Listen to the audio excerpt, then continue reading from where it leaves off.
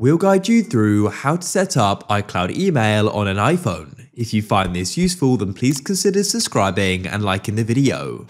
This is super useful to do, so you may already have an iCloud email which you want to go and add onto your phone and set up, or you may want to go and create one. Either way, I'll cover it in this video. So if you haven't yet got one, you can actually create an iCloud email as a part of your Apple ID. Go and open up the settings app like so and scroll right to the top and there you'll go and see your name. Go and click there. In the Apple account settings, you need to go and scroll down and see the option for iCloud, like so.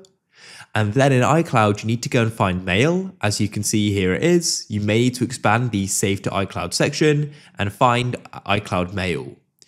So as you can see, I can go and see my account information here as I already have an iCloud email. If you don't know, don't worry. When you switch it on, you can then go and set it up and choose your email. So now that I've switched it on, I can come back to the mail app and you'll go and see I've now got my iCloud mail here. I can start receiving and sending emails. It's that simple.